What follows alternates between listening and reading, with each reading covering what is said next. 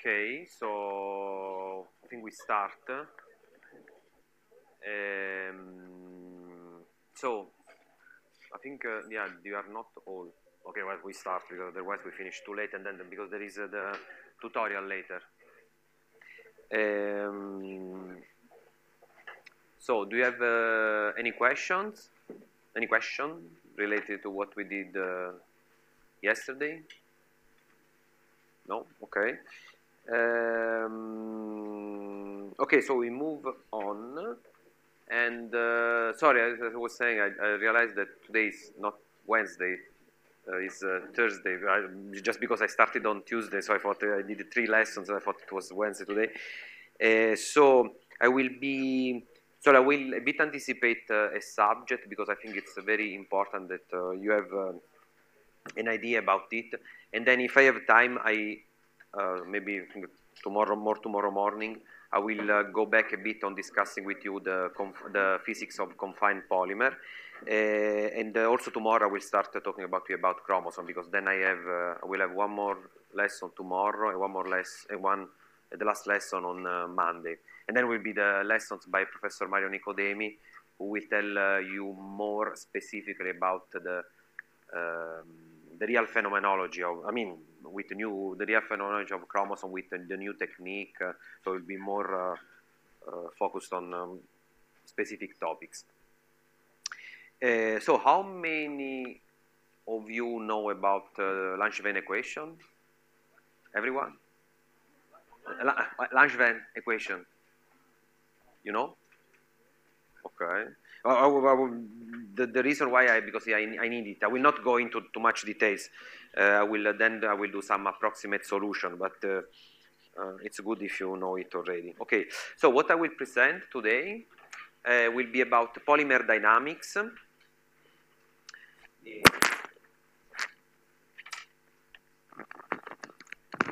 can I do it?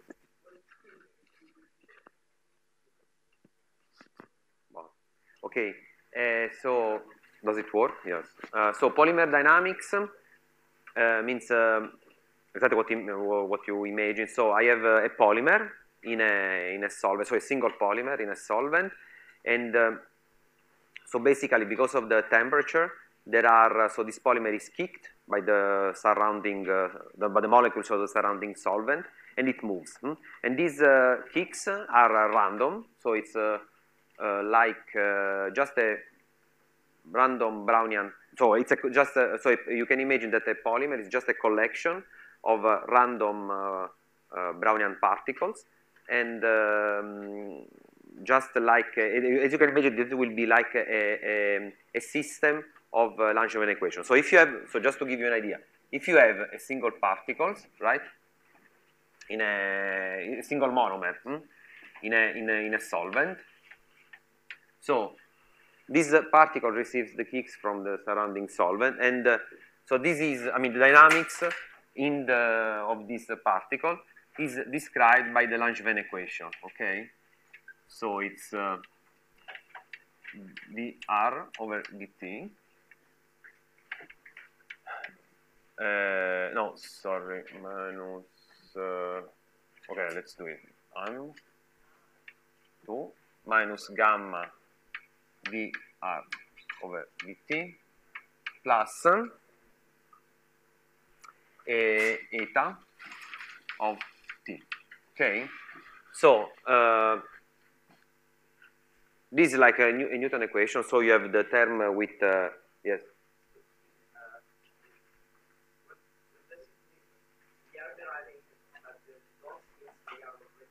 Oh, sorry.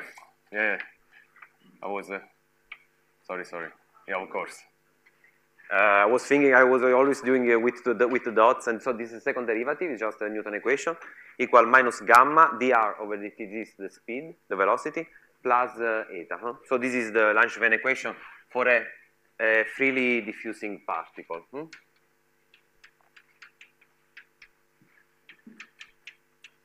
And uh, So this uh, equation, as you probably know, is supplemented by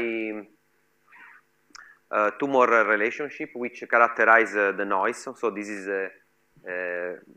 just a, a, Gaussian noise with correlation eta t equal zero, meaning that if uh, I the ensemble average of uh, noise, I mean over time is uh, just zero, and the noise is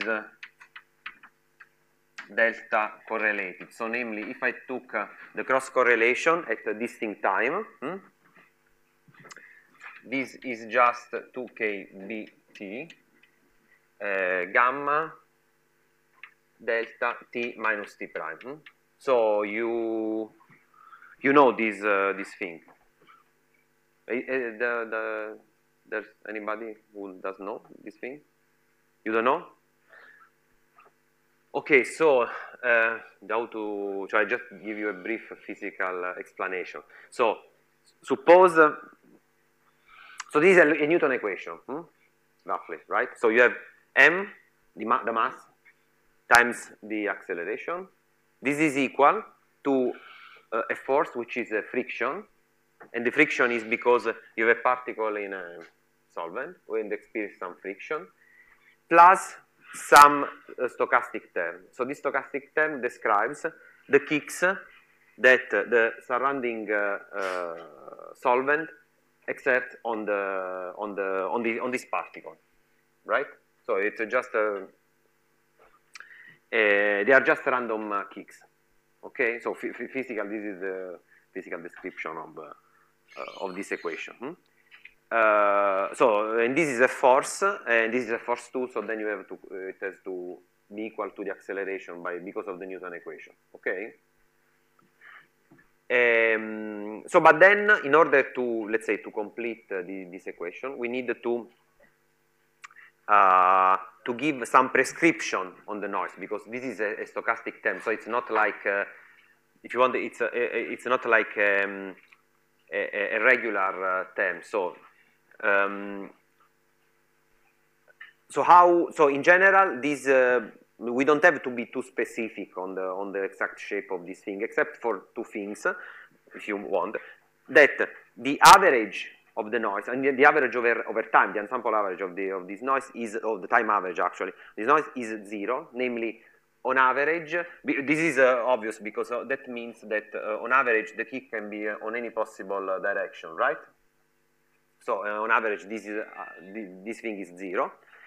Uh, and then this second prescription, which is also very important, it tells you that if I calculate the correlation of the noise at time t and at time uh, t prime with uh, t different than t prime, then this correlation has to be zero. They are not correlated in time.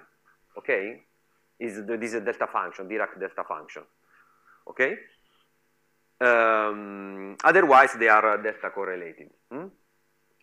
wait, wait, a second. So now you can ask why this uh, coefficient here, right?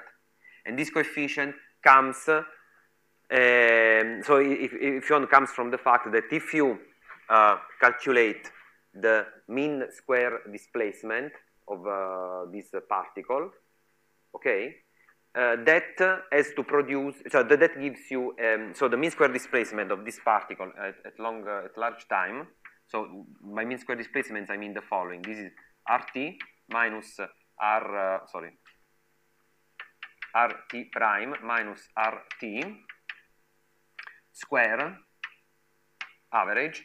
This is uh, the mean square displacement over time, so namely it measures how, uh, on average, how far my particle has moved from the, an initial position. And the, this quantity has to be independent of the, on this time t, no? It depends only on the difference on this time. So this is equal to uh, 6 dt, uh, where d is the diffusion coefficient, okay? Uh, sorry, t prime, because it's, uh, t, I mean, it's different time.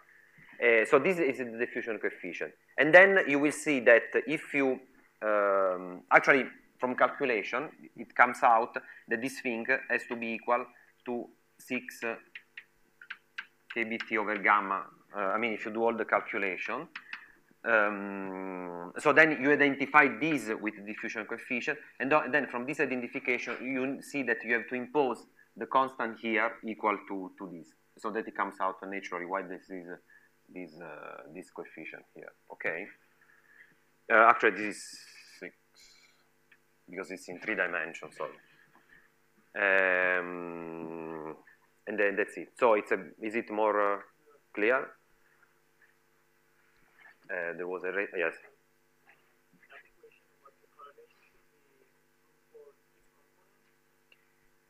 Uh, which component? Ah, yeah, yeah, yeah. For uh, in x, y, z, you mean?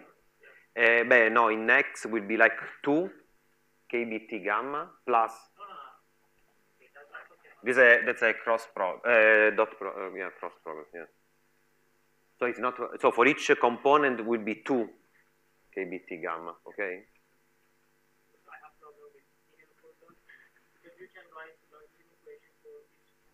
No, no, this is, um, uh, so, uh, so um, uh, okay, for, um, I mean, between component x and y, is always 0. xx is 2 with a factor of 2. Okay, so in d dimension, if you want, it's 2d. Okay, but we do it in three dimension, we don't complicate. We don't complicate stuff. Okay? I mean, the, the different directions, of course, are uh, uncorrelated, okay? Um, is it uh, is it okay? I mean, intuitively, then okay. I mean, I cannot go too much into the details because um, I need uh, to apply this to polymers actually.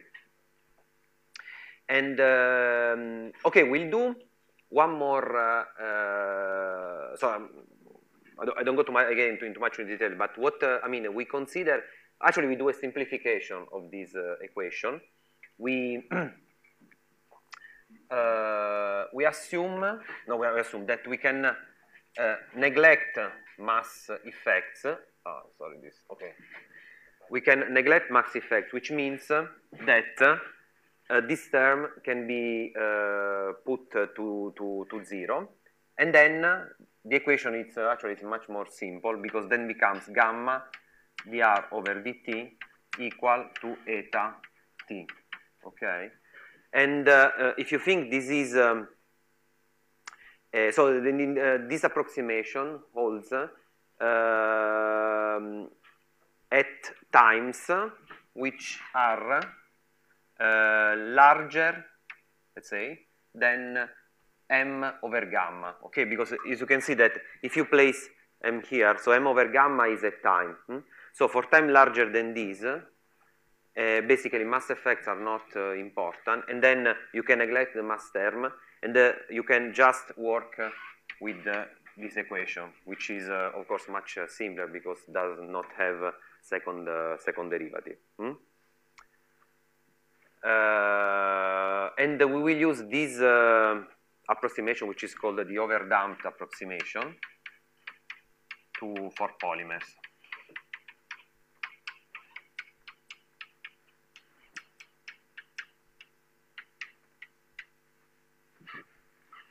Okay, and uh, which is very useful because, of course, it's uh, it's much simpler. Uh, in general, mass effects are important at very short times. so whenever times are lar larger than those, you can, you can neglect the mass step, okay? Um, okay, no, so now how things uh, uh, become if you have uh, a polymer. Hmm? So now, of course, I mean, things become a bit more complicated, but not that much. Um, so the model uh, we are going to introduce is called the Rouse model. And it's, uh, let's say, it's a, uh, the fundamental model in, uh, in polymer dynamics. Hmm? So it's basically ground zero. You can't have anything simpler than that for polymer dynamics. And the reason why is because the Rouse model was formulated for an ideal polymer chain. So namely, you don't have excluded volume effects, okay? So it's a, a chain. And the model is the following. You have monomers connected one after the other by entropic springs, by just uh, harmonic uh, potential, okay? So this is uh, precisely the same model uh, we introduced uh, at the very beginning. So, uh,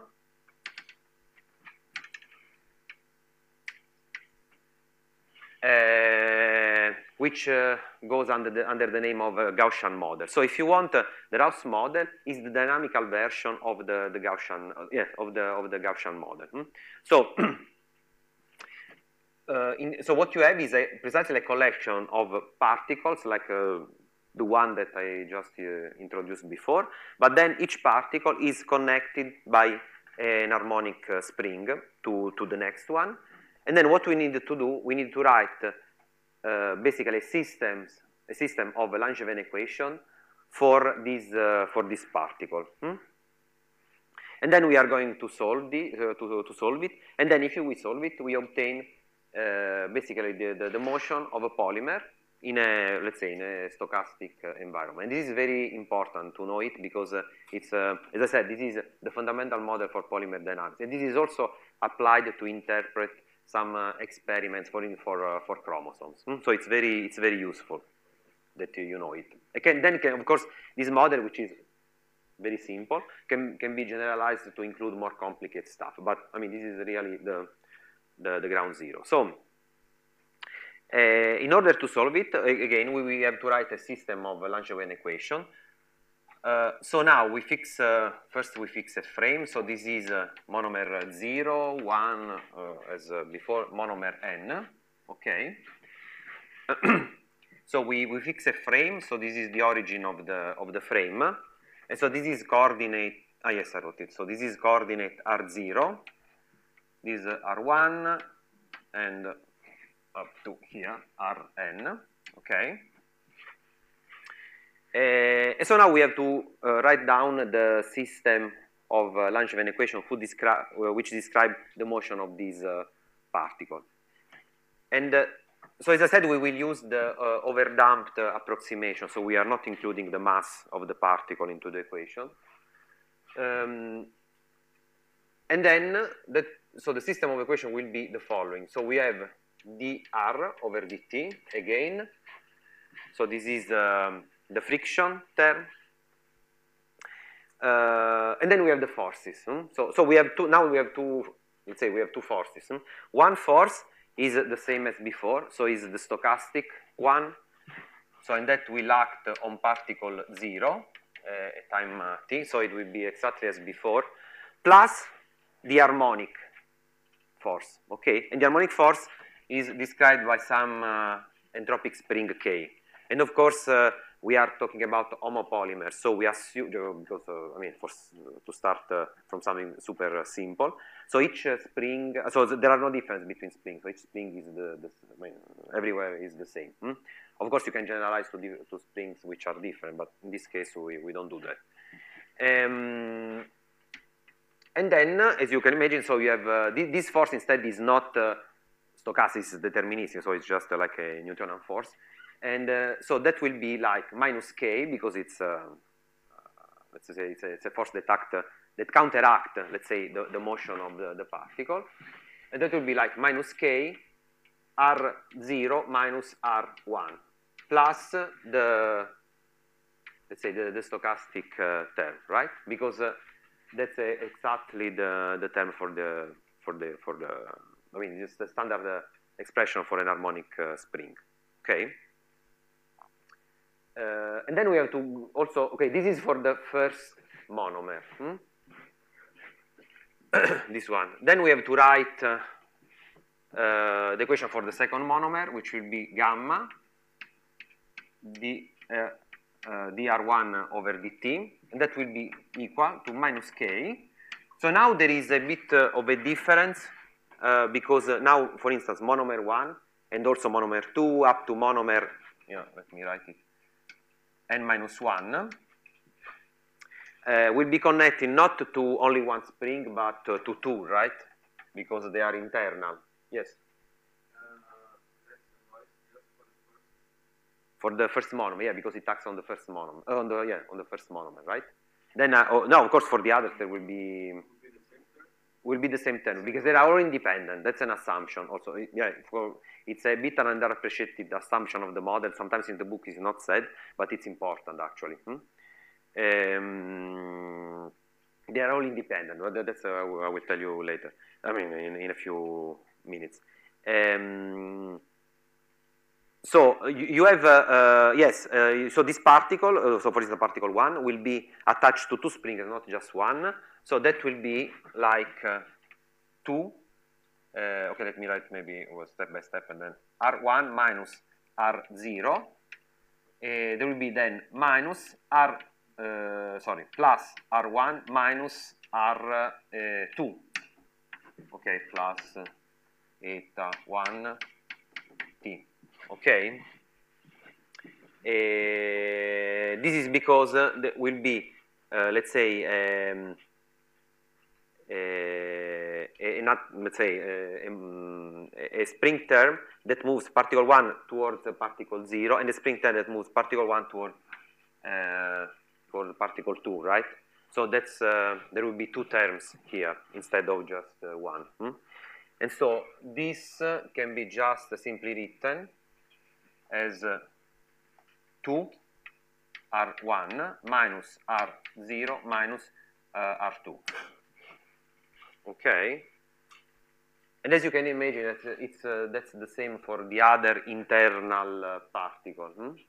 So in, the, in general, that will be like gamma dri divided by t, by dt, minus k to ri minus ri plus 1 e minus r ri minus 1 plus eta i t. With uh, i now this is between 1 and then minus 1 hmm? so actually this is the same as, uh, as this one. So um, this is for internal monomers. And the last monomer of course is uh, like uh, this one. It's uh, I mean uh, it's it has the same shape. So it's drn divided by dt equal minus k rn minus rn minus 1 uh, plus eta n t. Okay? And so this is uh, uh, this is the system of uh, Rouse equation. This is uh, the, the, Rouse model. Hmm? which uh, need, uh, of course, to be supplemented.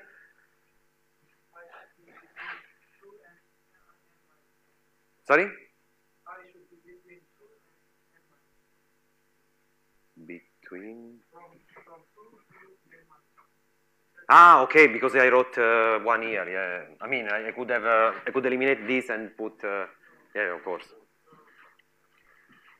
Um, this just for, to explain to you, but of course, I mean, we can, it's, uh, I mean, this equation is, uh, the same shape as this one. Okay. Sorry? Um, so, no, I, what I, I, uh, I, wrote here, it's because uh, I repeated the same equation as here. Hmm? But in the end, uh, this equation, I mean, I could, uh, I I don't want to make a very, com it's exactly, I mean, it's the same, so essentially, this equation is like this one, but with i equal to 1, okay?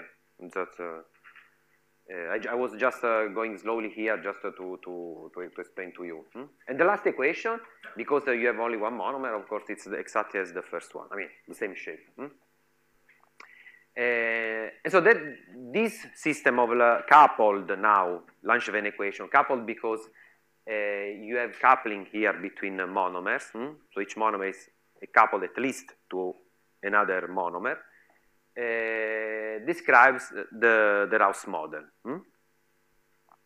uh, which need, as I said, as I was saying, to be supplemented by the condition on, on the noise, which are exactly, but these are simple, in the sense that they are exactly the same as the one that uh, I defined uh, before. Hmm? So actually, the conditions are uh, given by eta i, the, the time average, or the, sorry, the ensemble average of the noise for any i. Hmm? so for any monomer, this is equal to 0 hmm? between i, 0 and n, okay? So first, uh, so it's exactly the same as before. Uh, and the second one is that eta i t eta j t prime, hmm? so namely the sorry the cross correlation of uh, two noises which act on two two different particles or on the same uh, particle. This is just equal to uh, 6 kBt gamma, so same gamma is here. Now we have a Kronecker delta because uh, uh, the noise on two different particles is never correlated, so it's just zero. Mm? Delta t minus t prime. Okay, sorry, that's. Hmm?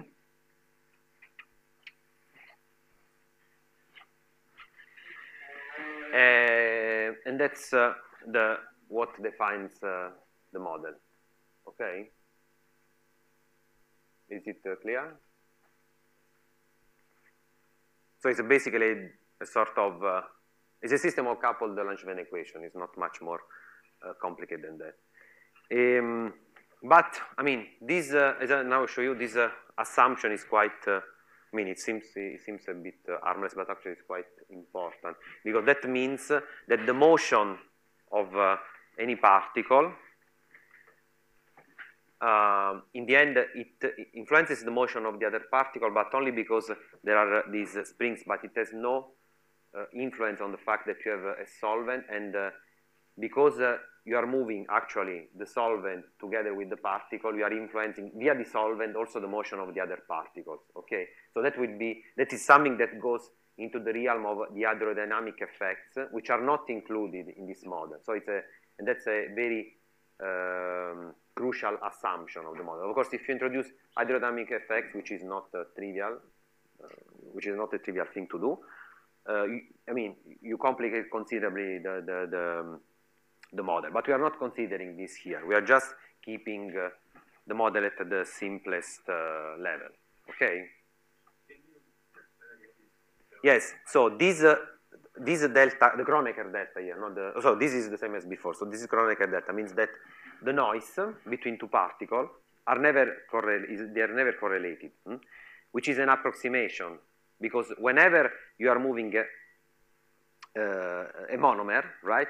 So in general, you would expect, I mean, in a real system, you would move the solvent with it, right? And so the fact, because you are moving the solvent with the particle, the motion of the, the solvent induced by the particle will influence also the motion of the other particle.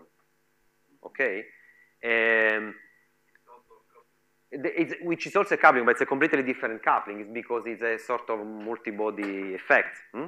And so that uh, goes un under, let's say, the, the, generic name of hydrodynamic effect, because uh, uh, this is pretty obvious why. Uh, and, uh, but in order to take into account the hydrodynamic effect, uh, I need another formalism, which is, does not enter here. And of course, it becomes much, much more, more complicated. In general, they are quite difficult to treat the dynamic effect. Hmm?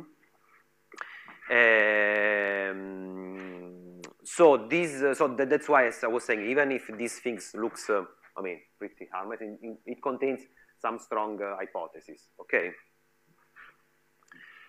Uh, okay. So um, so given this uh, equation, we need, uh, now, now, okay, of course, now what we want to do with this equation, we want to solve it. Hmm? We are not, so the solution of, uh, uh in order to solve this equation, you need to do no, no, not something very complicated. Uh, you need, uh, but it requires some math, which I actually don't have the time to do it now. Um, which, so in, in, practice, what you do. So as you can see, so this equation, you cannot solve uh, this equation as sim I mean in a simple way like uh, for a single particle hmm? because then uh, each single particle is just independent and you will solve just one equation. Here each equation is coupled to the next one because of this term, no? because of the harmonic um, uh, spring, right? Uh, So the, the, the, the, in order to solve the problem, what people do, they introduce what they are called normal modes. So normal mode is basically a linear transformation of the coordinates of uh, the monomers. So which means that you use another set of coordinates. Uh, this is the same number, so same, it will be always n plus 1 coordinates, which are linear combination of these coordinates. And uh, in these uh, new coordinates, the, you end with n plus 1 uncoupled Langevin equation.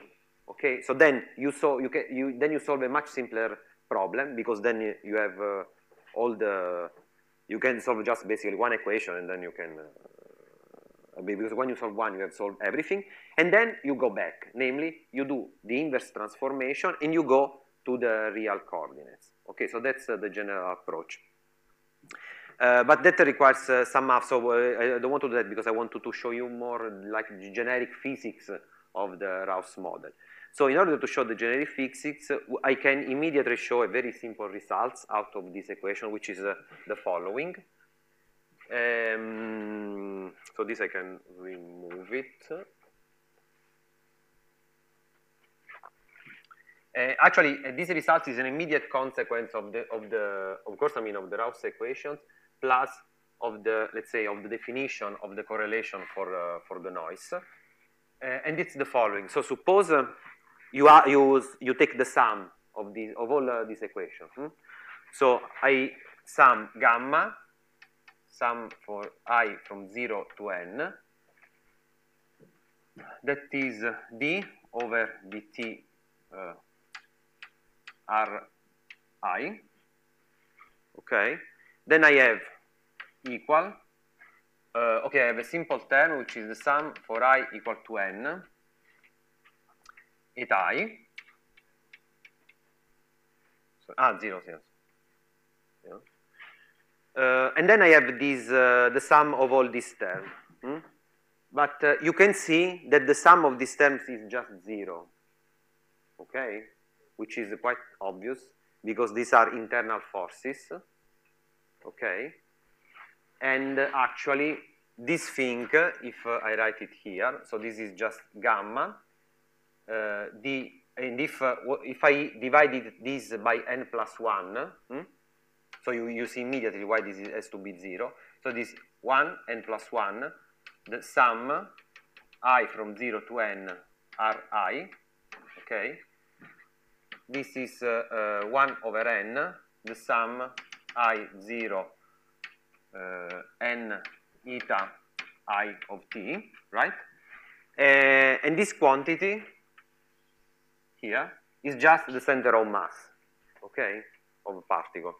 So this is gamma, I can call it RCM. So this d over dt, r center of mass. And of course, the motion of the center of mass does not depend on internal forces. You know?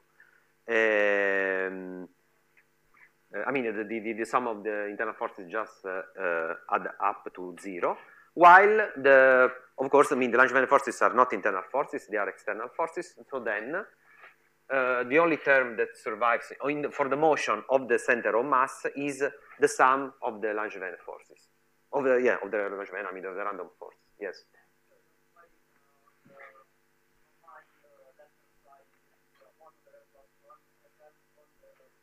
because I was wrong.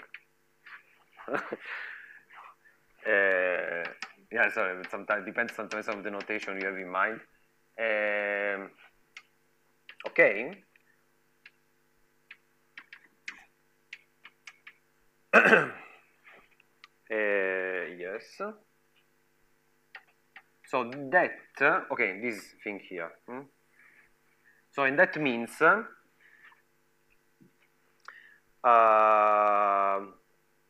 that means that the center of mass is, uh, uh, I mean, it's described by uh, just by a simple Langevin equation. Hmm? So we need, okay, we need to prove an additional thing, but in general, this is just like a simple Langevin equation, precisely the same as the one for a single particle. Hmm? Uh, in order to just prove it, we need to calculate the correlation of this uh, noise. What I mean is the following. In order to, to see that if it's a real uh, Langevin equation, we need to see uh, how this uh, noise, uh, so we need to calculate the similar correlation, but for this noise. So if I call it uh, this quantity, um, I can call it, zeta of t, so this is just by, by definition 1 n plus 1 uh, sum i yeah it's a bit hot no? Uh, i t uh, I need to prove hmm, that the following. I need to prove that zeta t uh, is equal to 0 okay and that zeta t zeta t prime uh, t, t prime is equal to some um, is proportional to some delta t minus t prime. And I have also to find the coefficient which I don't know hmm? so coefficient that I have to check delta t minus t prime. Okay. I have to find it because I don't know it. Um, if I prove that then I can use basically the same uh, the same simple Langevin equation to, to, to study the motion of the center of mass. Uh, I'm going to do it immediately. Is, is, it clear, the problem? So, because this is, I want to, to, yes, great. I want to, um, to solve the, this equation, okay?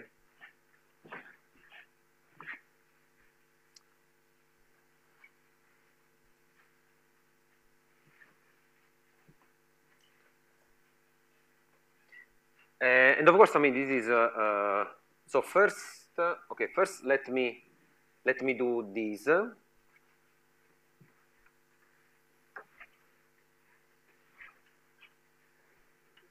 So I have to do this first, okay? The average of this over, uh, the ensemble average of this uh, quantity, okay? Uh, so, but this is very simple because this is just a linear combination of my eta, okay? So this is equal to n plus 1 um, sum i from 0 to n of eta i of t. And this is, uh, because it's a linear combination, this is just 0, right?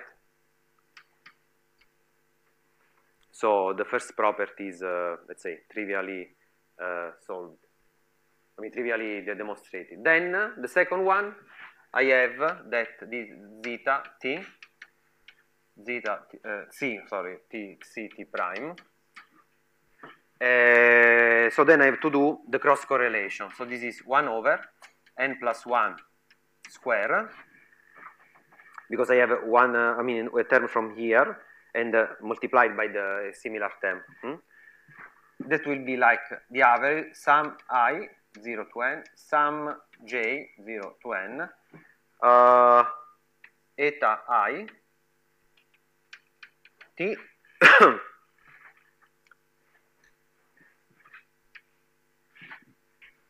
eta j t prime hmm? average okay. And then of course I can move the average inside the sum. And now I can just use uh, this relationship right? So this is equal to 1 over n plus 1 square um, 6 kbt gamma okay uh, then I have the Kronecker delta here which means uh, uh, that I need uh, that the only non-zero contribution comes from the terms where i is equal to j. And so then this is just n plus 1 delta t minus t prime Okay, uh, so this n plus 1 simplifies with this. And so what I have in the end is 6kbt gamma divided by n plus 1 delta t minus t prime. And uh, as you can see, this um, uh, yes, uh, so there's something. Uh, no, no, it's okay. So that means uh, basically um, that my object, right, is uh, like a uh, it's a, like a Brownian pattern. So the object, I mean the center of mass, hmm? it moves like a, a, a free Brownian uh, random particle, but with an n plus 1 uh, friction, smaller, uh, some bit strange. No, it's okay. Smaller uh, than the. No, but that's strange. Sorry. Because should, it should be larger. Um, no, wait, wait a second. I'm get confused. Uh, okay, up to here is, is okay. Hmm?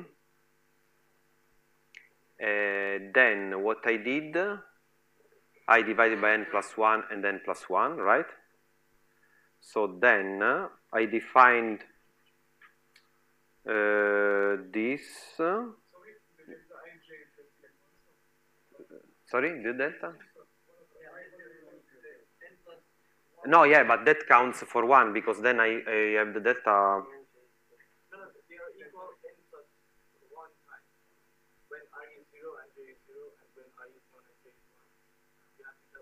Yeah, but that's here.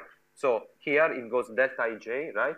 So it's when only the i is equal to j, and then it contributes only when i is equal to j. When they are different, do not contribute. So cross term do not contribute. So then it becomes n plus 1. Uh, and then, okay, that simplifies with this. So then I have 6 kbt gamma over n plus 1 delta t minus t prime. I think this is okay. Uh, what uh, I uh, so let me just think a second. Uh,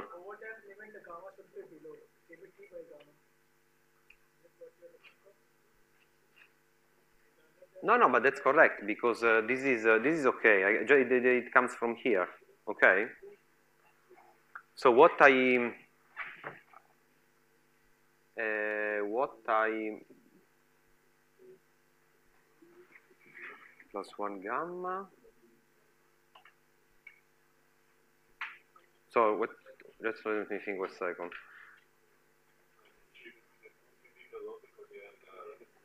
No, it should be below, I agree, but um, that means uh, it's a bit, uh, maybe this way, hmm.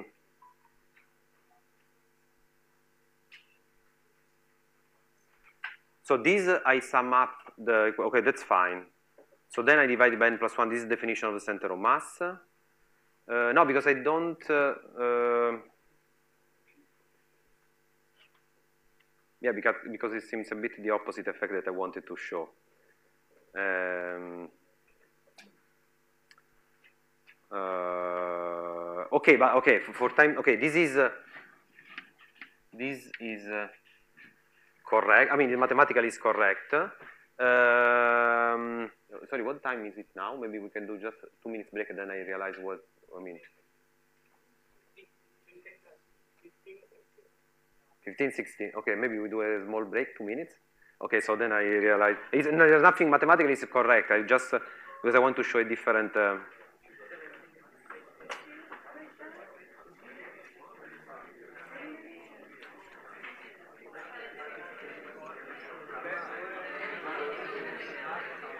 no, but this is.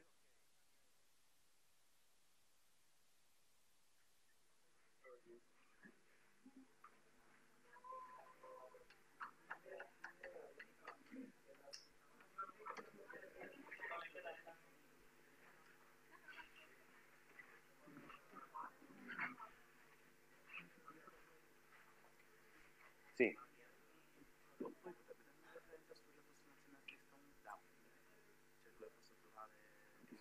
Strong couplings equal. Ah, sì, sì, comunque qualsiasi libro di, non so, fan camp, no. Comunque te lo, te lo dico dopo. Sì, sì, sì, volentieri, sì. Uh, yeah, sorry, I made, uh, I don't know, my life more complicated than what uh, was necessary. So actually, this is uh, correct, but uh, the only thing that, um, so actually I have to do this way. So n plus 1 gamma d over dt, so this is correct. Hmm? So, but I don't need to divide this by n plus 1 because otherwise I go in the wrong direction. So actually, this is like n plus 1 gamma equal to the, just the sum of the, of the different noises. Hmm? So then I define CT like this, and I calculate the correlation the way I did it, except that now I don't have this term here, and I don't have this term here, and I don't have this term here. But then this thing, uh, so this does not simplify, hmm? which is what I want actually. And because now I have an equation where this uh, thing here, which I call gamma tilde, is the same as gamma tilde here. So it has exactly the same uh, shape as the normal Langevin equation. So that means that if I, I can write an equation for the center of mass, which is just a simple Langevin equation, okay? Which means that the, actually, which means that the center of mass, so it's like this way, gamma tilde RCM dot, or if you want the, the, the first derivative over time, is equal to um, this quantity that I call the, the xi of t, no? which is the sum over all the noises over all particle with this correlation, uh, which means uh, basically that the more, oh, so this Cm, which means basically that the center of mass is uh, moves diffusively hmm? for the for the Rouse model. Um, yes. So, which means that if I calculate the mean square displacement over time of the center of mass, the, the same as I calculated before, which I didn't, but I showed just to show you, for the center of mass of,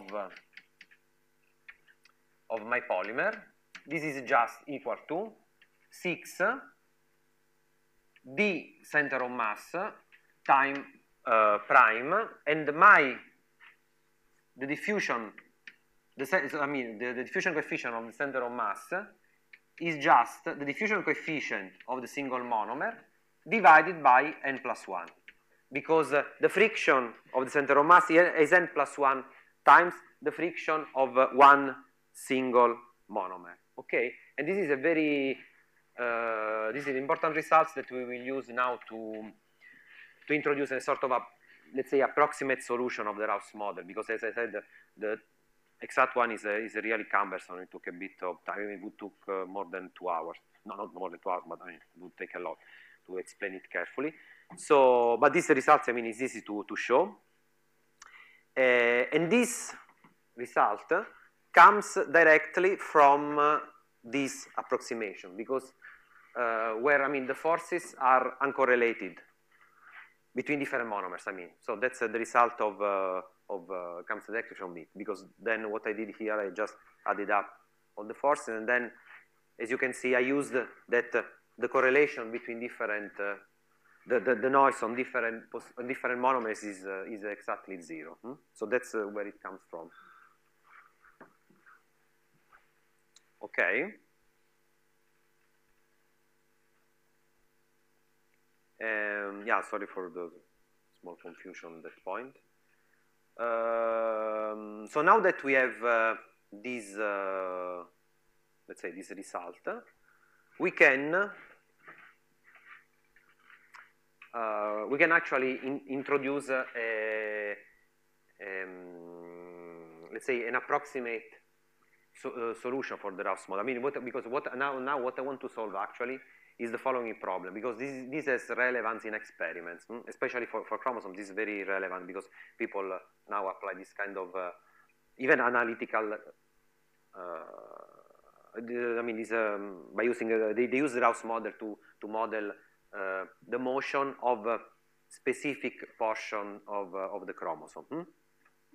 And I think I, I will show you uh, to tomorrow, maybe on Monday, this, this kind of experiment. So, uh, so then what, uh, I mean, in order to, to, to, model such a kind of thing, we don't have to look at the motion of the whole polymer, like uh, this one, because basically the motion of center mass means the motion of the whole polymer, but we need to look at the motion of a specific portion of the polymer. Hmm? And in particular, we can look at the motion of a single monomer. And we want to know how the monomer moves uh, in time. Hmm? On, on, average, of course, we will always do some the, the ensemble average. And we uh, now I show you that there are a very non-trivial effect hmm? for, for the motion of a single monomer. So, Uh,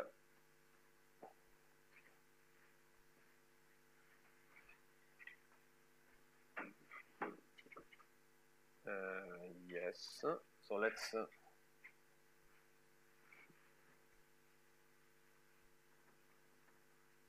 okay this I keep it and uh,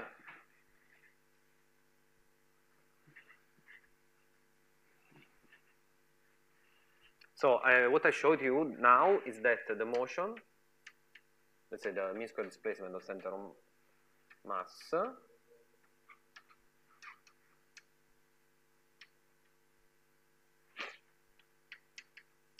square. This is 6. D0 is just, I call it the motion of one single monomer, n plus 1 t. Okay? No prime. So now, what I want, I mean, the problem I want to solve, so I have my polymer. Uh, I want uh, the average motion of one single polymer, oh, yeah, sorry, of one single monomer in, uh, in time, as it evolves in time. So this is a, this, uh, I mean, this problem can be done exactly, but as I said, one has to do uh, normal mode, so it's a bit cumbersome. So we just use a simple scaling uh, approach.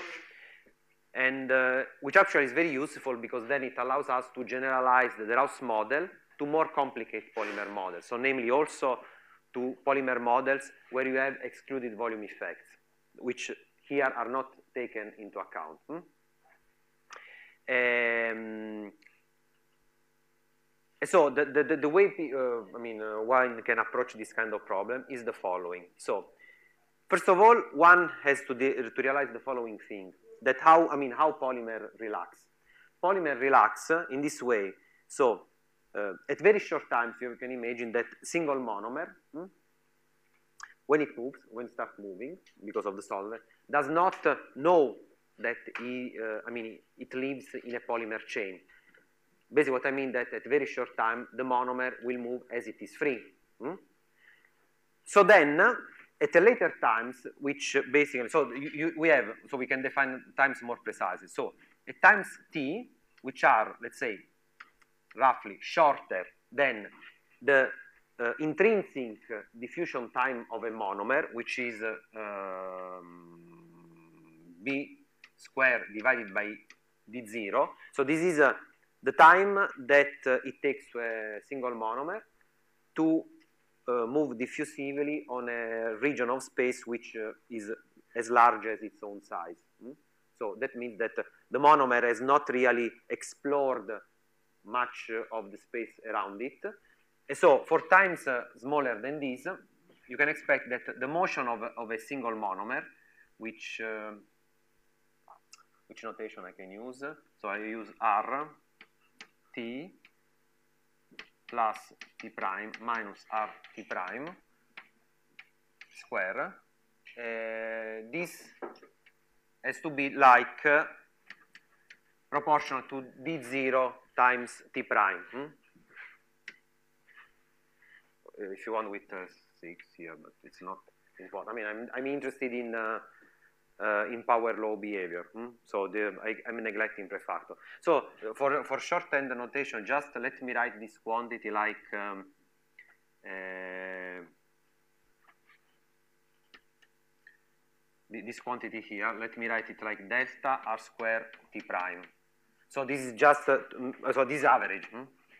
So what I mean is just the average of uh, the motion of, of a single monomer, just to be short, otherwise it's, it's a bit uh, boring to bring all these things together. Um, okay, so we, with delta I mean uh, like displacement in time. Hmm? Uh, sorry, this. Um, okay, so this is because the monomer has uh, not uh, moved yet too much. Hmm? Uh, so then I'm interested in times which are larger than these. So I'm interested to describe the motion of a monomer on times which are larger than the diffusion time of a, yes.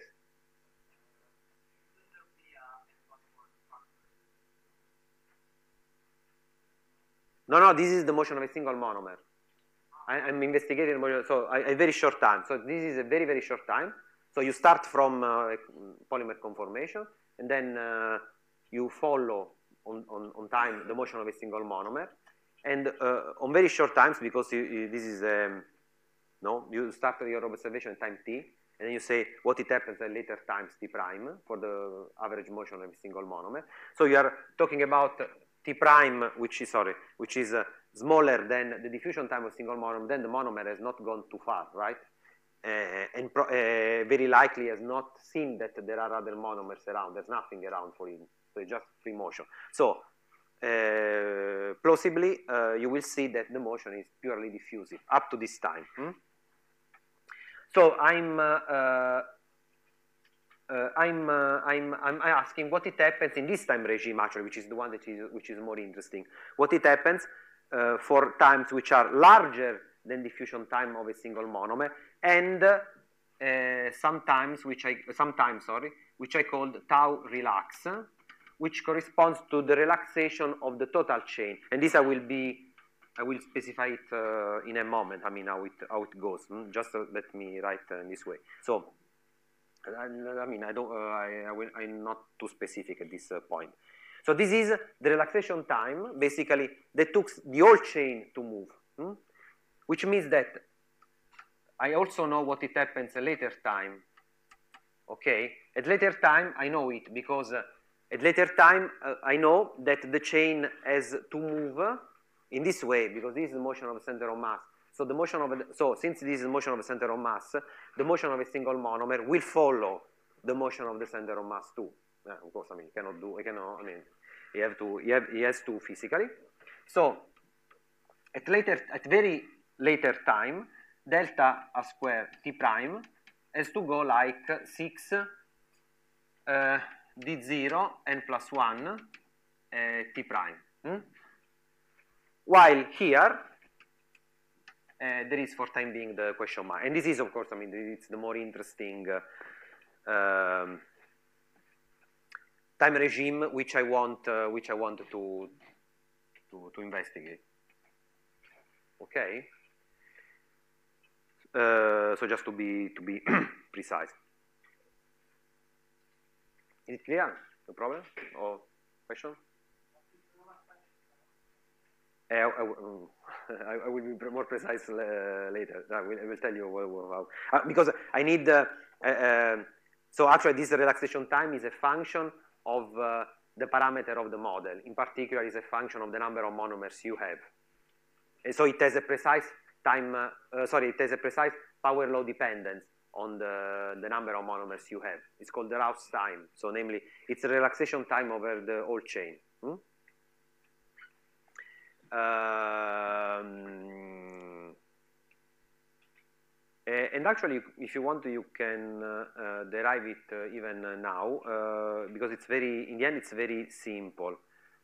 Uh, but uh, first, uh, I, I, want to, but it comes also naturally from here. So I, I first, uh, I first uh, derive the diffusion of a monomer in this uh, time regime, and then the relaxation times come quite naturally. Okay, so this is um, in order to derive the, I mean, how it it evolves a monomer in this time regime. One has to just uh, use two ingredients basically, and one simple physical uh, uh, some physical simple physical intuition. And the most, I mean, and the, the, the first simple ingredient is the following: that um, the the monomer, the single monomer, when it moves, uh, it will drag hmm, in its motion more larger and larger portion of the chains. Okay, uh, because this is the way the, the way polymers uh, let's say, evolve dynamically, um, which means that uh, at some time t, uh, sorry, some, some uh, t prime, which is in this time regime, hmm, the monomer is explored, so now let me if it's clear, is explored time t, hmm, uh, a region which uh, has to be uh, compatible, let's say it has to be of the order of b square, which is uh, the typical size of a monomer uh, here, this one, time the number of monomers which have moved at time t prime. I've used the primary, prime. Yeah. Yes, so so I'm, I'm, uh, I want to investigate this time regime, which is the intermediate one. So it's uh, a time regime which is intermediate between the, let's say, the trivial uh, diffusion time uh, at, uh, it's, uh, which is intermediate the, between the, let's say, trivial diffusion time of a single monomer and the total relaxation time of the chain, which is somehow it's, show you it's also non-interesting. Okay, will, in fact, I've already shown you. It's non-interesting because uh, it's simply, it's a simple drift if you want. It's just the diffusion time of the whole chain, hmm? because of course any monomer has to follow the whole chain. So I'm interested in this intermediate time regime. Hmm?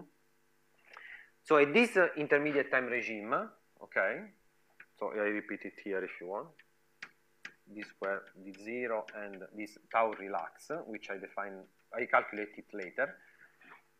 Uh, so at any t prime, so the monomer has explored a region hmm, which is uh, uh, compatible with uh, the total number of monomer and t prime which have moved at, at, at I mean, um, simultaneously. Hmm? And since uh, I know that uh, my chain is, because I am, I mean, if at that time the chain is, uh, let's say, is equilibrated, so it's explored the whole uh, region available to, to the chain, that has to follow basically the statistics of the random walk, no? In number of monomers n. This is precisely the, the, the model, so this is basically the, the, the result for a Gaussian chain, okay? So the time t prime is hidden, here is the number of monomers that have moved at, um, up to this time uh, t prime, okay? So this is uh, um, basically the number of monomer, uh, let's say, contained between, I mean, which uh, are far in the chain uh, between this monomer, which is, uh, let's say, the, the monomer whose motion I want to investigate, and here, so this is n t prime if you want. Hmm? So it's a, it's a growing, the, the total, so the, the, number of monomers that are moving, because they're all moving simultaneously. Hmm?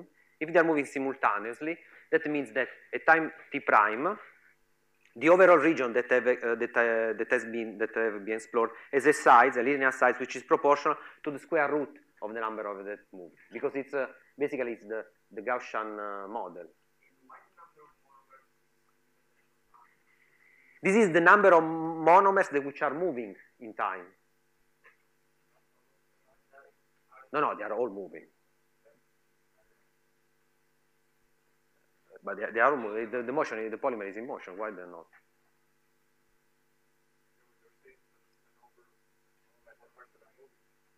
No, okay, wait. So I'm focusing on a monomer, right? Right? So this thing is moving, but they are also, also the rest is moving. So this is on average. Hmm? So if it's moving, uh, then at some time t prime, hmm? and then if uh,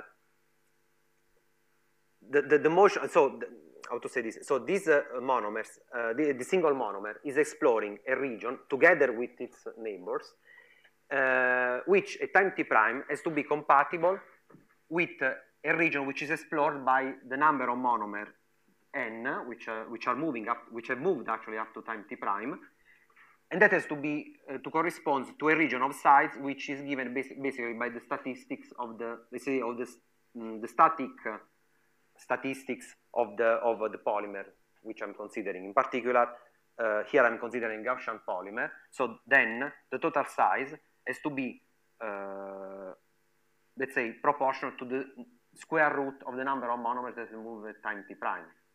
Okay? So I don't, maybe it was, so if you want, this is uh, something like, so the implicit dependence on time t prime can be written this way, or better. So is contained in this uh, dependence. Is it, uh, yes?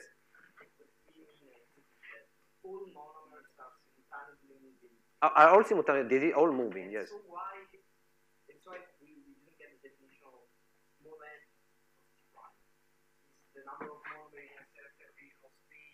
This, this is on, on average, if you, so if you, if you keep a spot on a single monomer, so then it's moving. Then there are also the other monomers which are moving. You they're all relaxing hierarchy if you want. So they start from here, then moving the second one, I mean the two, the closest one, then the third one, blah, blah, blah, blah, blah. It's some, on average, at time t prime, the total number of monomers and the region explored by these number of monomers which have moved on average, so these, these are closed in space, of course, this is a segment which is connected, have to, has to be of this size, okay? Yeah, uh, if you want, this is, uh, um, um, okay, this is true, maybe I didn't say that, but this is like a, a, a, um, how to say, um, a subchain of my chain of length n t prime, but it's an, an average subchain. So this, is, if you do it, you have to consider this as like a, a collective uh, motion. So if you take one subchain, then the other subchain, the other subchain, they are all growing uh, uh, in this way. If you want, this is the, the same as saying that uh, if I chop my polymer in pieces, hmm? so namely I took, uh, the, I don't know, the first 10 monomer, the second 10 monomer, the third 10 monomer, blah, blah, for instance, uh, then up to the relaxation time of these 10 monomers, they, all these different pieces, they relax almost independently, because uh, just because they, they are moving, uh, they, they don't feel uh, each other hmm? at shorter times. Okay. Uh, okay, let me.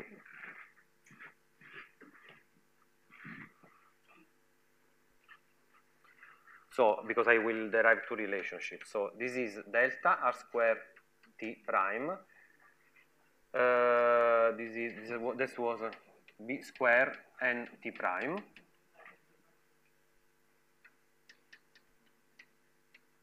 Okay? So that's the first uh, relationship. Okay, okay now, as you can see, I can uh, tell too much, no? Because uh, um, I can tell too much in sense that uh, uh, this I need to determine.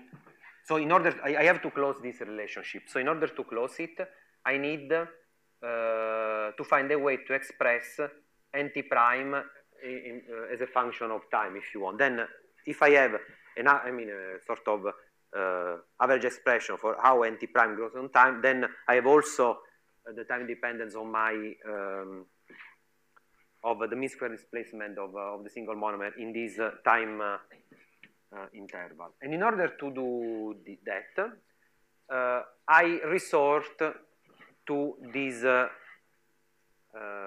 comment. No, your question? Okay. Um, no, I mean, if you, if you want to ask, ask. I mean, yes. What is? It? How to say this? So, um, uh, so I have. So I, am what I'm interested in is the following problem. Um, find the time behavior of single monomer in this time interval because the, the first time interval it's the, the first and this one are trivial because I know them. So I'm interested in this one. Okay. So what is nt prime? nt prime. Uh, so I'm focusing on one single monomer. Okay, that is moving the, the single monomer, but with the motion of the, I mean, with with this. Uh, single monomer. They're moving also the other monomer around, right? So this equation describes how a time t prime, I mean, how many of those monomers time t prime have moved I mean, let's say collectively, okay? Uh, they're moving together because everything is moving. Yeah, but they are okay, but they are closing. Um, they are along the sequence because this is moving this monomer, then is moving the other monomer, then is moving the other monomer. Uh, according to each other, yes. Because of course they are correlated because they are moving. Yeah, if you want more or less. Yeah, it's a sort of correlation length. Yeah, more or less. But then it means, uh, because, uh, and here I, I'm using the statistics of uh, the polymer, namely the, uh, the, the, the, which kind of model I have behind my this uh, model. I know that uh, the, the, model, the polymer is a Gaussian polymer. So then the size, the, let's say the linear size of the region explored by this monomer at time t prime is equal to b squared time nt to the square root because uh, the linear size is, uh, I mean, it's just the, the Gaussian statistics. Hmm? Okay? Uh, because we have to imagine that the polymer, okay, uh, it, it, moves this way. So you have your, uh, the, I mean, the motion of the polymer, the monomer. You have the, the monomer, and then there are the other monomers around, and then the other monomers around, and then the other monomers around. So it's, uh, it's moving from smaller scale to larger scale. And so the number of monomers that have moved up to T prime are linked to the region of space which is explored by this uh, anti-prime monomer by this relationship for this specific model, of course, for the Gaussian model. Okay. Mm -hmm. But um, time t zero when you start the observation. So yeah, um, because they are moved, to, they, they moved all together. Yes. No, no, no, they, they, they are all together. No, no, I'm not uh, considering specific. No, it's not like you have one monomer fix. Uh, um, okay, I see what you have in mind. It's not like uh, what, you move one monomer and then the other uh, like frozen and then you start moving the rest. No, no, it's, it's a different story. So they are all, they move all together. It's simply that the influence of the, the way the other monomers influence one specific monomer does not uh, happen, I mean, nothing happen until they have reached a certain length. If you want, maybe your friends said it's sort of correlation length if you want. But they've, they've first, so first one mono, in order for this monomer to fill this other monomer, this monomer have to move a region whose size is compatible with uh, the, the, the, the, let's say, the total size of the, of the region that um, um, that can be explored by also by, by this monomer. So you see, so otherwise, it, so if you have to say this. So you have one monomer here, eh? one monomer here, and one monomer here.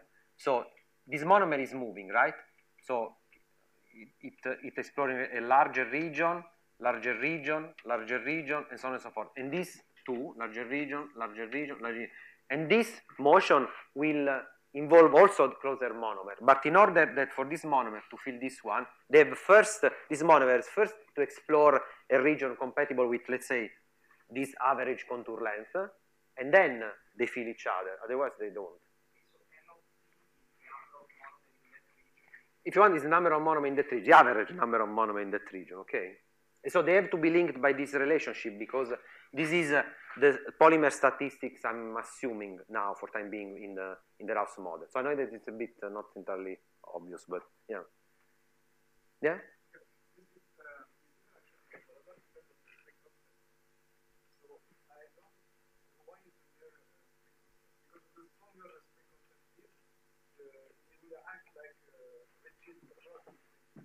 But um, see, I see what you mean. Uh, wait a second. Um, so, um, actually, yes and no, for the following reason, because uh, uh, so so?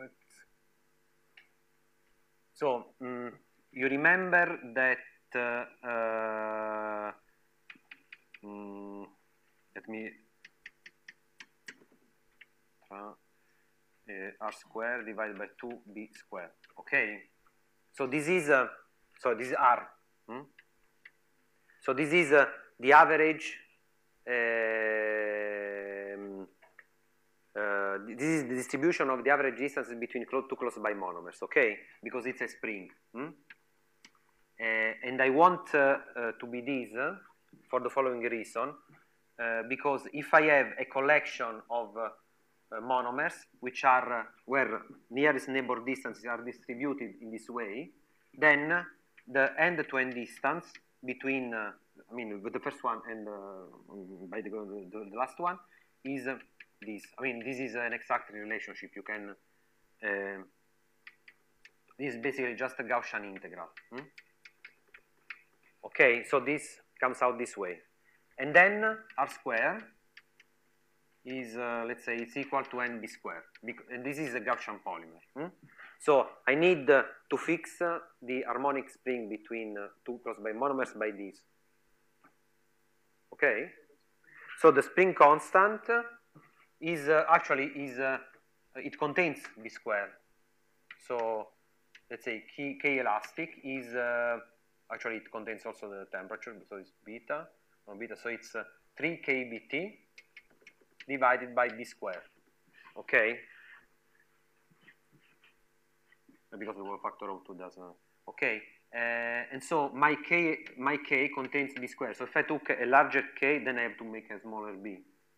Okay? So it, uh, so my b contains the information on the k elastic. So okay, it's a parameter, but then if I change this parameter, then it means that I'm just changing this.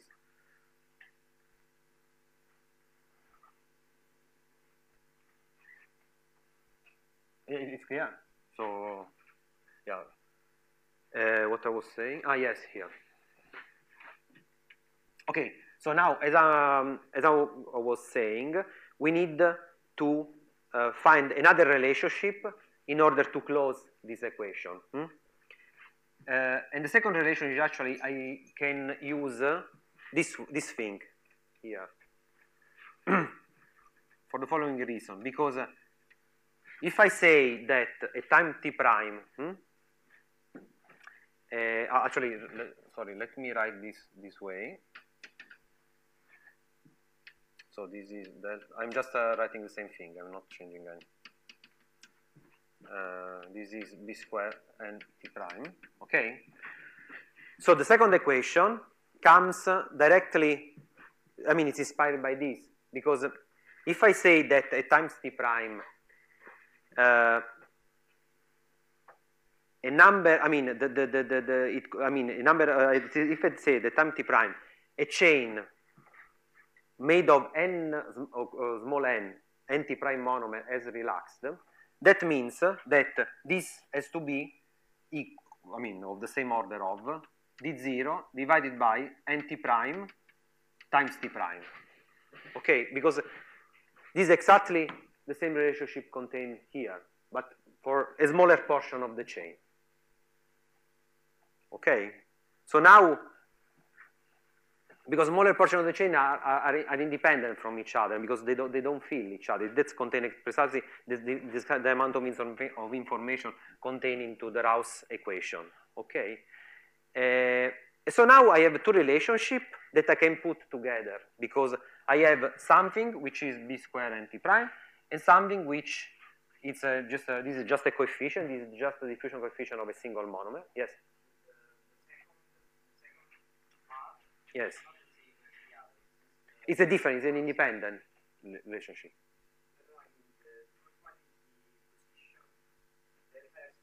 hmm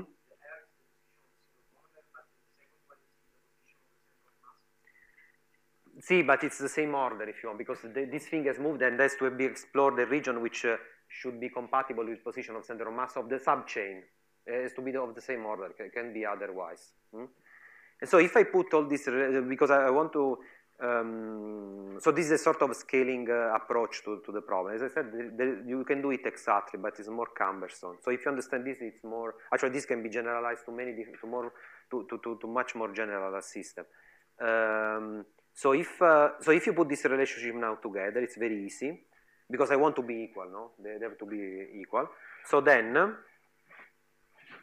uh, so then, I can, okay, do it here.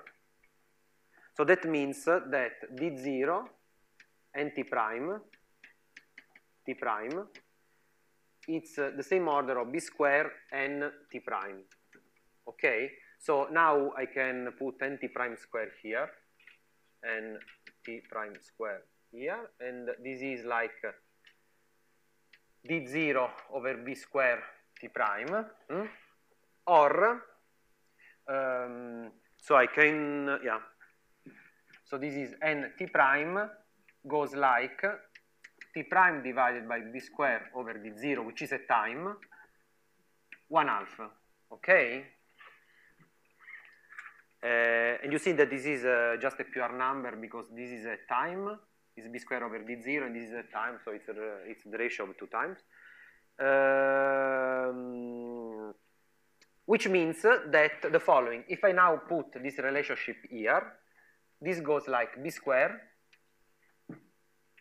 t prime over b square over d0, uh, yeah, 1 half, okay? And maybe you can already observe something, uh, which is a very simple observation, actually, that the mean square displacement of uh, my uh, monomer does not grow linearly in time, actually, but grows with the square root of the time. So namely, this is subdiffusive.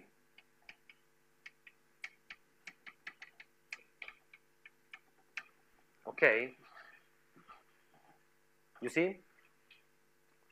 So, and this is a very uh, important uh, effect in, uh, due to the fact that uh, uh, the monomer is not uh, basically free, but um, so, but it's uh, it's part of the of, of, the chain. So at intermediate times, and so now we can complete this, uh, uh let's say this uh, picture here. Delta r square t prime goes like b square uh, t prime over b square over d zero. Hmm? One half. So namely, you can see the difference, no? It's subdiffusive. Instead, here at large time is diffusive again, and it's diffusive at short times. Hmm? Um, and this is a very specific effect. Uh, this is a, actually, this is a genuine polymer effect. Even if you, and it's not, uh, so the fact that you see subdiffusion does not uh, so the, the, exponent depends on the fact that you are using the Rouse model, so the specific value of the exponent. Hmm? But the fact that you are seeing subdiffusion does not, uh, so it's a genuine polymer effect. Even if you change a model, to a polymer model, you would still see subdiffusion. And that's because a monomer is embedded, I mean, it's, a, it's part of a, of a, of a chain. Hmm?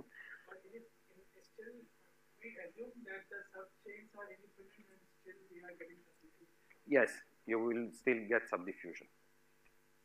The, with a different exponent, even if, I mean if you change the hypothesis, uh, the model, but we will still have subdiffusion. It's an assumption of the Rouse model, yes.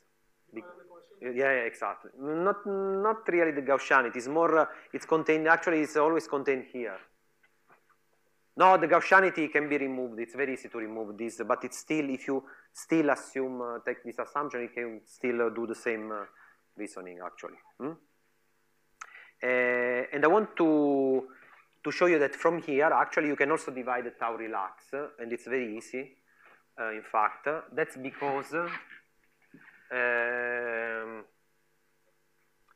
actually this uh, regime here so first of all, you can see uh, that every, uh, actually this thing matches with this. If you take uh, tau prime equal to b square over d0, so namely this uh, time here, so then delta r square t prime is b square, so which is uh, compatible, no? So the two things are compatible.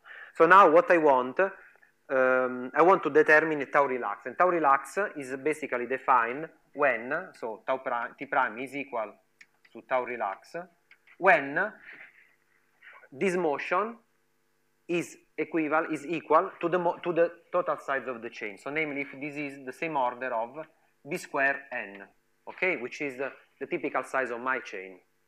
Okay, and so then now I can uh, uh, extract tau relax. Uh,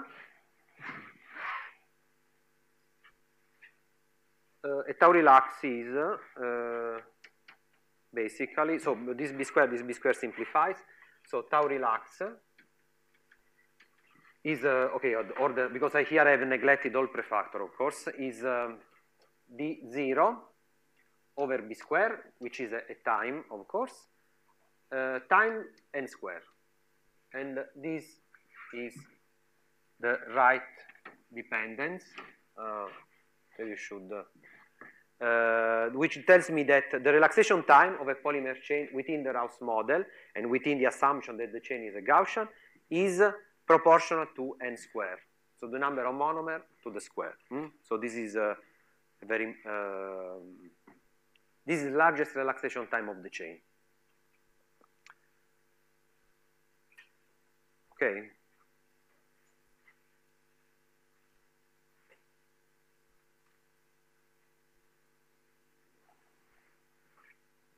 Um, yeah, and then when we'll uh, look at uh, chromosome uh, dynamics, I mean, in, an experiment, we will see that uh, these, uh, there are uh, experiments where people have model chromosome as like a Rouse chain, I mean, precisely using this model, and they've extracted the exponent, and they, we, they find that actually in experiments, the motion of portion of the genome, they uh, they are remarkably well described precisely by this law with a power law of one half. Hmm? So namely, it's uh, yeah, roughly, roughly. Yeah. Okay, there, there is there are some error bars, of course, but roughly yes. Mm -hmm. Okay, and in some time regime, non probably not always, but for very long time regimes, it uh, it works pretty well. It's uh, inside nucleus, yes. Which is, sounds strange, right? Yeah, that's uh, what it is. Actually, there can be another explanation, but I mean, it can coincidence.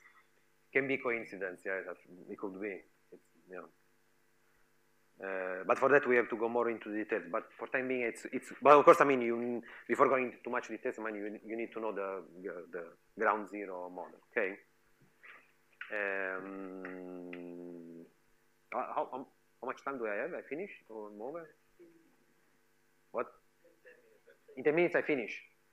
Okay, then I'll just show you uh, how you can generalize, it's very simple, how you can generalize the model to, di to different, to more complicated polymer model. You can still use it. That's why this scaling behavior is very powerful because in, otherwise you cannot really use the exact solution for that. Hmm? You, I mean, or you need more complicated assumption actually. Instead, the scaling uh, behavior is very, it's always very simple. And you can do the following. So actually, you need, uh, if you want to generalize the Rausson, it's very simple. Hmm? So as I told, so of course, I mean, the generalization uh, touches uh, this uh, time regime. I mean, this one and this one, they will be always the same. They are independent on the statistics of the polymer. That's, uh, the, I mean, the first one is trivial, uh, simply because one monomer at very short time does not know that in a polymer chain. And this is also trivial, and it follows, as I said, by this assumption, and this thing it's always true. So no, no matter what the statistics of the you have exclusive volume effects, whatever, if uh, you make this assumption, this is always true. Okay, so. Um,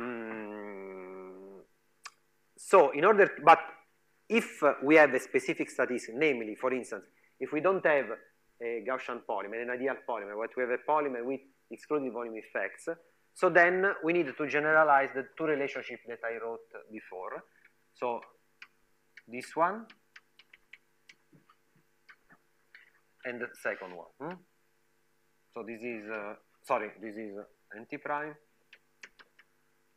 Uh, this goes like delta r square n t prime. Uh, okay, and uh, this is first and second relationship. So as you can imagine, for, the reason, for precisely for the reason I, I said before, uh, this one will still be the same, so does not change if I'm using the Rouse model. So this is still the same. What it changes because of the statistics of the polymer is this one. Hmm? Because that means that, for instance, if you don't have a Gaussian polymer, but for instance, you have a self-avoiding polymer, the one that, for instance, I've solved, uh, I mean, where, uh, where, where, I found the exponent by using the um, Flory theory. So this has to be like n to 2 nu. Sorry, nt prime to the power 2 nu, with some, with some generic nu. Before, I used nu equal 1 half.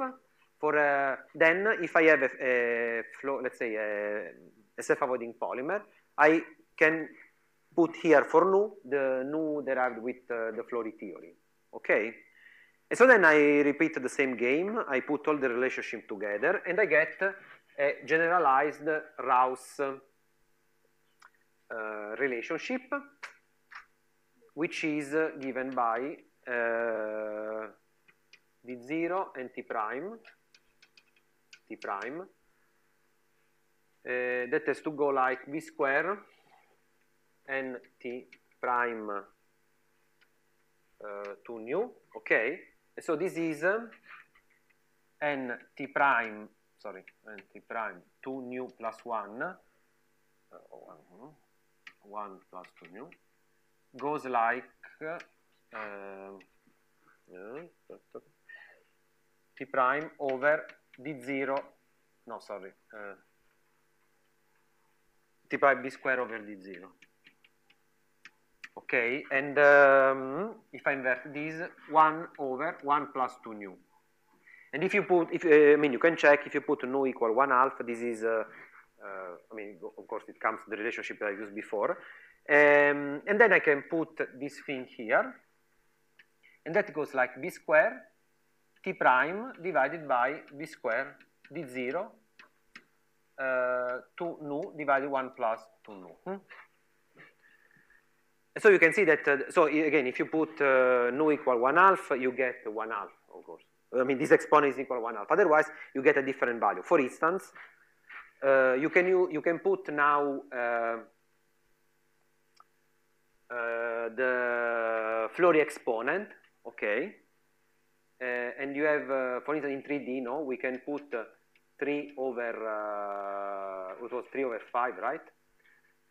Which means that this exponent here is 6 over 5 divided by 1 plus 6 over 5, which is equal to, um, I don't know, 6 over 5 divided by 11 over 5, which is 6 over 11, okay, which is, uh, well, which is larger than 1 half, no? So as you can see, the exponent expected for um, uh, the dynamical exponent expected for um, for a self-avoiding polymer is larger. Hmm? So it relaxes uh, somehow. I mean, with the same number of monomer, it relaxes a bit uh, faster, no, than the equivalent uh, the equivalent uh, ideal polymer. And I would presume because you have less conformation to explore, no. Um, but I want also to just uh, conclude to uh, to show you a very important thing. I mean, to, to, to, stress a very important thing that this is a dynamical exponent. This alpha, I, I call it just alpha. This one is two nu divided one plus two nu, and this is very nice result because actually the dynamical exponent here is linked to the static exponent nu. So namely, the statistics of the polymer, the stat, I mean, let's say the statistical equilibrium of the polymer is linked to the, to the time behavior of the polymer, uh, I mean, the dynamic time behavior. And this is a very nice result because in principle, uh, it allows you from the knowledge of alpha, so if you imagine that you have an experimental techniques where you have access to, the, to, to alpha, you can derive conclusion on, if you assume that the Rouse model is a good model, you can derive conclusion on the equilibrium properties of the polymer, the statistics of the polymer. Hmm? So it's a, it's a very powerful uh, relationship. Of course, I mean, you make the assumption that the Rouse model holds. Uh, I mean, if you think that it's not a good model, then if you apply it, you get crap. Huh? But assuming that it is a, it's a good model, then you derive, um, you have a, I mean, you have a way to connect the statics to the, to the dynamics, okay?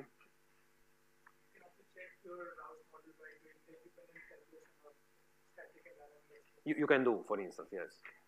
in case you have access to both uh, to both tools, uh, to yeah, for some reason, yeah, you can do.